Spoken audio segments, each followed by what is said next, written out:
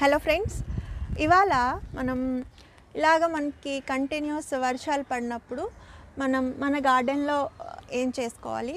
తర్వాత ఈ వర్షం నీళ్ళు మన మొక్కలకి ఎలాగ ఉపయోగపడతాయి?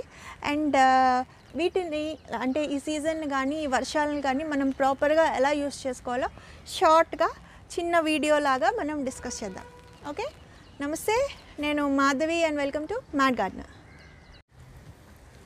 So ఇలాగ కంటిన్యూస్ వర్షాలు పడినప్పుడు మన చుట్టూ ఉండే మొక్కలు కానీ పెద్ద పెద్ద చెట్లు లేకపోతే మన ఇంట్లో మొక్కలు లేకపోతే ఇలా మనకి ఎండిపోయి ఉన్న కొండలు లాంటివి ఒక వారం రోజుల టైంలో పచ్చగా టర్న్ అయిపోతుంది సో అది ఎందుకు అవుతుందంటే యూజువల్గా మన వాతావరణంలో చాలా రకాల గ్యాసెస్ ఉంటాయని మనకు తెలుసు కదా.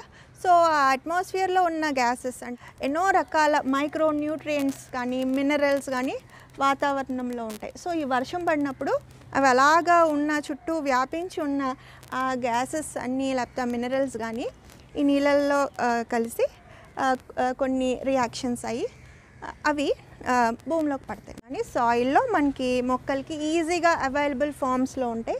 అండ్ ఇలా కంటిన్యూస్ వర్షం పడటం వల్ల ఏమవుతుందంటే ఆ రూట్స్ బాగా చక్కగా స్ప్రెడ్ అయ్యి నేల మెత్తగా ఉంటుంది కదా వేర్లు చక్కగా ఇంకా రూట్ గ్రోత్ ఎక్కువ ఉంటుంది. సో బాగా స్ప్రెడ్ అవుతాయి.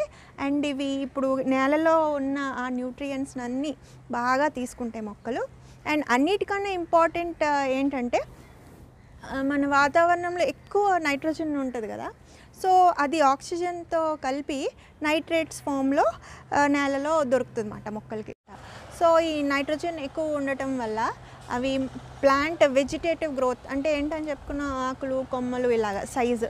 సో అలాగా పచ్చగా గ్రీన్గా లష్గా తయారవుతాయి. ఈ వర్షపు నీళ్ళు మన మొక్కలకి ఎంతో మేలు చేస్తాయని చెప్పుకున్నాం కాబట్టి ఇవిలాగా కంటిన్యూస్ వర్షాలు పడినప్పుడు మనం మన గార్డెన్లో ఏమేం చేయాలంటే ఇక్కడ మీకు కనపడుతున్నాయి ఆ మొక్కలు షేడ్లో ఉన్న మొక్కలన్నీ షిఫ్ట్ చేస్తామన్నమాట. అంటే అన్నిటికీ వర్షం పడేటట్టు.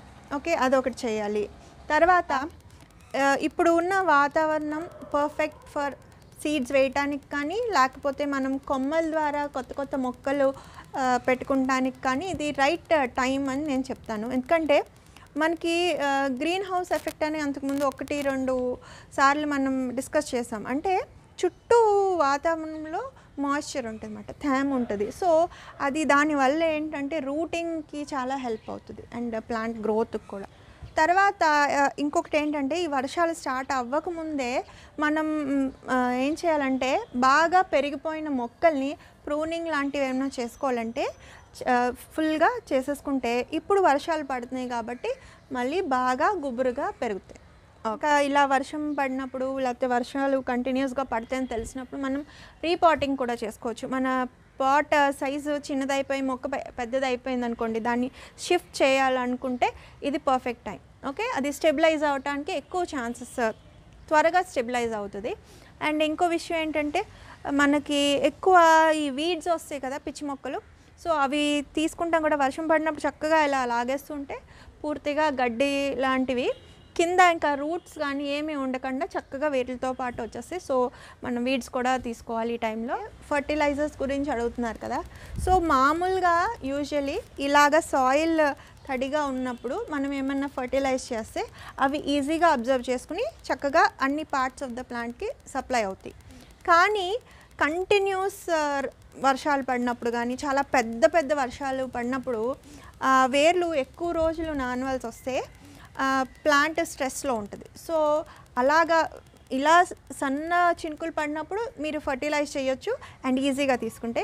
కానీ పెద్ద పెద్ద తుఫాన్లు అవి వచ్చి లేకపోతే నీళ్ళు చాలా రోజులు వేర్లు నానిపోయే పరిస్థితిలో మాత్రం ఫర్టిలైజ్ చేయకండి. అండ్ పెస్టిసైడ్స్ కూడా ఇప్పుడు ఇవ్వకూడదు. ఎందుకంటే అది మనం కష్టపడి చేసినవి ఆకలి మీద వాటి మీద ఇచ్చినా కూడా యూజ్లెస్ అవి కడిగేసినట్టు పోతాయి కాబట్టి పెస్టిసైడ్స్ ఇవ్వటం అనవసరం. తర్వాత ఇంకా మనం నారు పోసుకుంటాం కదా నారు పోసిన మొక్కలు కూడా ఇలాంటి టైంలోనే మనం విడిగా పెట్టుకుంటే తొందరగా బతుకుతాయి. అండ్ ఇంకా అన్నిటికన్నా ఇంపార్టెంట్ ఏంటంటే మీకు అక్కడ కనపడుతుంది కదా డ్రమ్ ఇలాగా ప్రతి వాన చుక్కను ఉడికిపెట్టి తర్వాత మన మొక్కలకి వాడవచ్చు సో ఇలాగ వర్షాలు పడినప్పుడు మనం మన గార్డెన్లో ఏం చేసుకోవాలో ఫ్యూ పాయింట్స్ లాగా డిస్కస్ చేసాం కదా. సో ఇది మీకు యూజ్ అవుతుందని అనుకుంటున్నాను. సో ఎలాగా ఉందో మీ కామెంట్స్ ద్వారా తెలియజేయండి. నచ్చితే లైక్ చేసి షేర్ చేసి సబ్స్క్రైబ్ కూడా చేయండి. ఆ విషయాలు హ్యాపీ గార్డెనింగ్.